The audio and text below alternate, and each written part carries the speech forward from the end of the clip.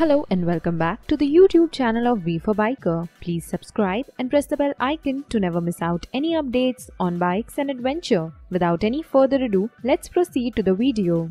The curtains have been brought down for those eagerly awaiting the launch of the TVS Zeppelin 220. According to the sources, the TVS Zeppelin Cruiser, which debuted in the concept form at Auto Expo 2018, will debut in production form at Auto Expo 2020. The company will soon start testing the upcoming motorcycle on road. Let's ride into the specification the Zeppelin Cruiser will be powered by a 212cc single-cylinder air-cooled engine. The engine is based on 197cc of the Apache 200 and will be compatible with BS6. However, for the Zeppelin, the engine size will be increased to get more displacement. Unfortunately, there is still no information on the power figures.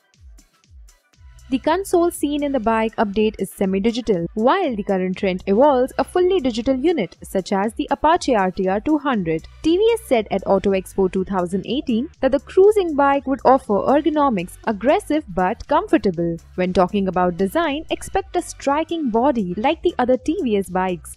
The future Zeppelin Cruiser 220 would not be the exact copy of the concept version, it is still going to retain several aesthetic elements hardware specification will most likely maintain a 41mm inverted front fork with a gold coating which is similar to the Apache RR310 and a monoshock on the back. The cruiser concept is packed with a unique spoke design that allow installation of tubeless tires. We sincerely hope to see the features on Spec Production motorcycle.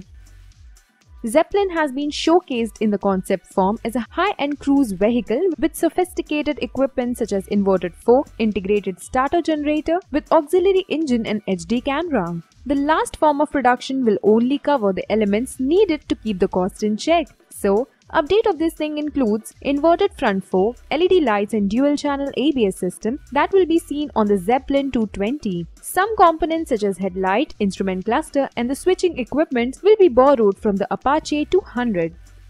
We hope that the company will launch Zeppelin shortly after its global presence. In terms of pricing, the price of the bike will be slightly higher than the Apache 200. We are therefore expecting an initial price of about 1.15 to 1.30 lakhs. The bike would compete with the models like Bajaj Avenger 220 Cruise and Avenger 220 Street. For further information, we will need to wait a little more for the officials to make a final call on this one. With that said, thank you for watching. If you really enjoyed it, please don't forget to like, share, comment and subscribe if you haven't already. Want to know anything about bikes and stuff? Leave down your queries in the comments section. We will be more than happy to help you.